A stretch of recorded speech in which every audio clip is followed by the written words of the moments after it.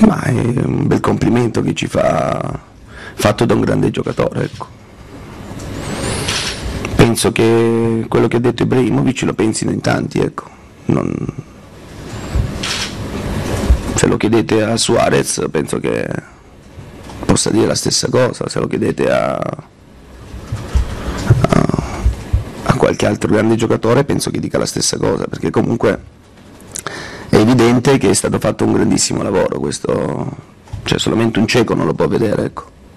Eh, ci tengo a precisare una cosa, che può essere un punto di non arrivo da parte dei, dei campioni, però ribadisco che il nostro è un campionato molto molto difficile da giocare, da vincere e, e questo ci tengo a sottolinearlo, ecco, perché il campione italiano resta secondo me tra i più difficili in assoluto, a differenza di quelli stranieri. Poi per quello che riguarda il discorso dei, dei top player, ehm,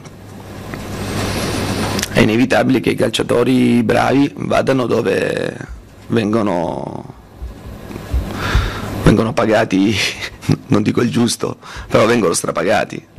E in questo momento in Italia eh, ci sono poche squadre, forse nessuna, che eh, può permettersi eh, di pagare 8, 9, 10 milioni a un, a un giocatore. Ecco. Noi forse vinciamo il secondo scudetto quest'anno in due anni e sicuramente abbiamo fatto un percorso straordinario, abbiamo fatto qualcosa veramente, se accadrà,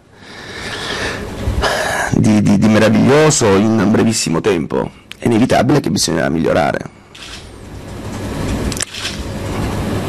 Quindi eh, ci aspettiamo poi miglioramenti. Ecco.